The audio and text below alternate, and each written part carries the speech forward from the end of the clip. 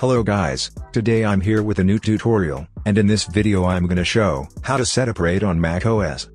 So before starting, if you haven't subscribed to our channel, then please go and subscribe to our channel and stay connected for latest updates. So guys let's start. Before proceeding further, let me give a quick brief about RAID. RAID, Redundant Array of Inexpensive Disks, or Redundant Array of Independent Disks, is a data storage virtualization technology that combines multiple physical disk drive components into one or more logical units for the purposes of data redundancy, performance improvement, or both. Implementation of RAID can be managed either by dedicated computer hardware or by software. A software solution may be part of the operating system, part of the firmware and drivers supplied with a standard drive controller, so-called hardware-assisted software RAID, or it may reside entirely within a hardware RAID controller.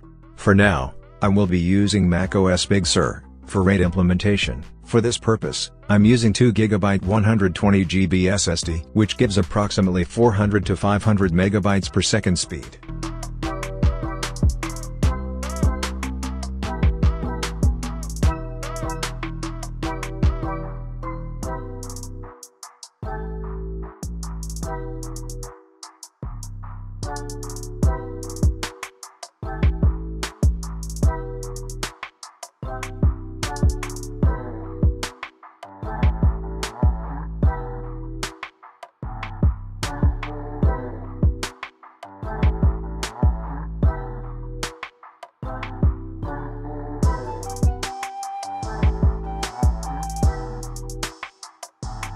Now open Disk Utility.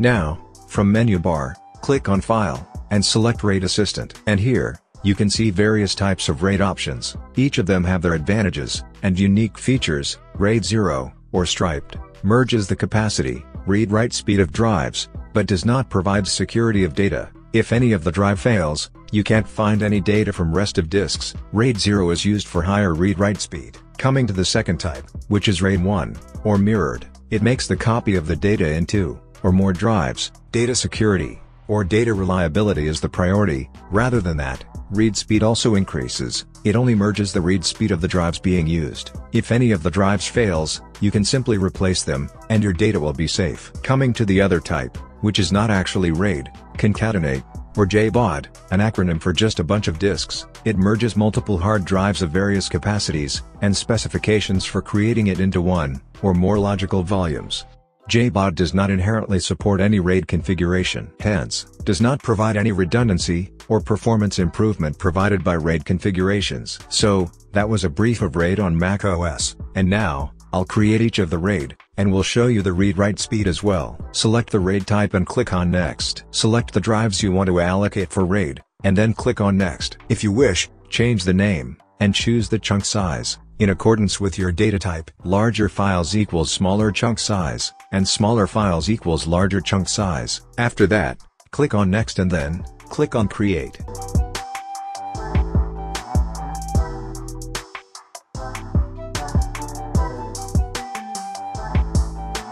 Click on Done, and here is the disk. You can see both of the disks, and total size of the disk. Now, I'll quickly show you. Read and write speed of the disk.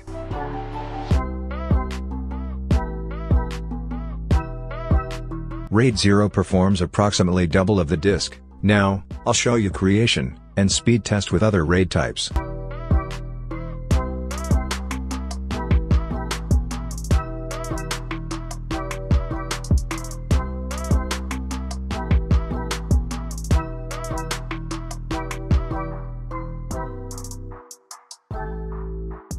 Thank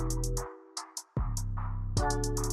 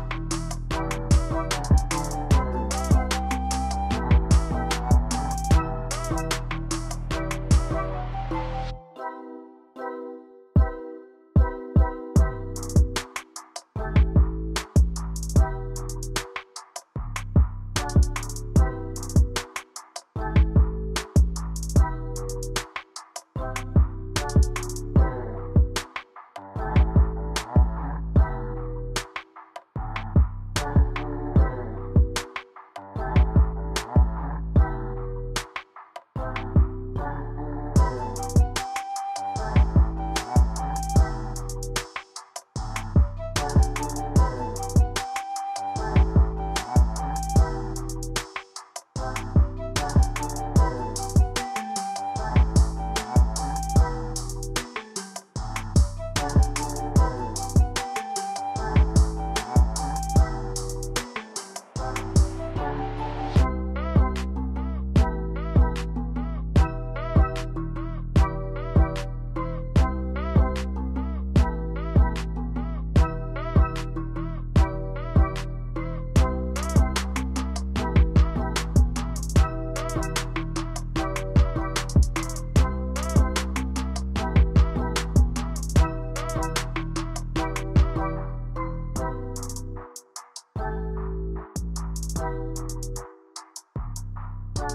So, all best possible RAID has been demonstrated in the video, along with the brief, and performance test. Hope you guys enjoyed the video, if you have any question, just comment down below, thanks for watching and don't forget to like, share, comment, and subscribe, and for more updates stay connected and have a great day.